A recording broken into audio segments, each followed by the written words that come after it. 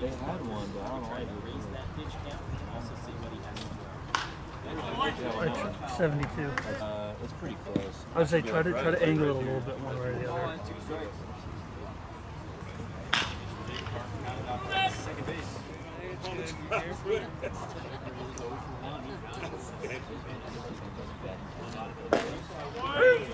and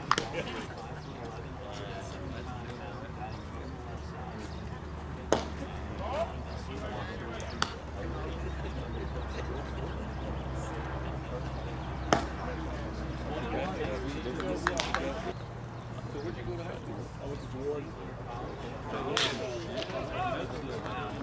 Second base.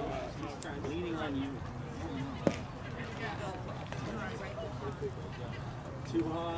One out.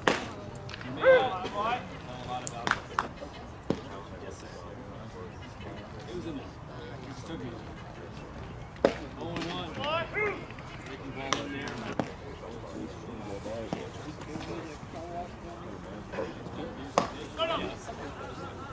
We all have to report. One and two count. Here's the pitch.